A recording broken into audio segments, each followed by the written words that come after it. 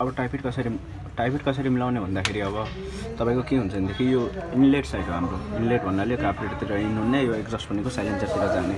तपाईँको इनलेटतिर चाहिँ zero point zero six M M यो फिलर गेजमा भेट्न भेट्न पाउँछौँ यो। तपाईँको एक्जस्टमा चाहिँ जिरो पोइन्ट जिरो एट एमएमको हुन्छ। फेरि फेरि मैले यो हातले मिलाएको छु मसँग फिलर ग्लेज नभएर त्यो पनि मैले मिलाएको लगभग एकुरेटै हुन्छ किनभने यसको लागि स्प्रिङ धेरै चाहिन्छ। सो म सल्लाह दिन्छु हातले चाहिँ नमिलाउनु होला फिलर गेज युज गर्नु होला। मसँग नभएर चाहिँ मैले हातैले मिलाएको यसको ग्याप कति हुन्छ भन्दाखेरि अब यहाँबाट त थाहा पाइन्न होला त्यति हल्लाइदिन्छु है। Zero point zero six M लगभग यति आउँछ।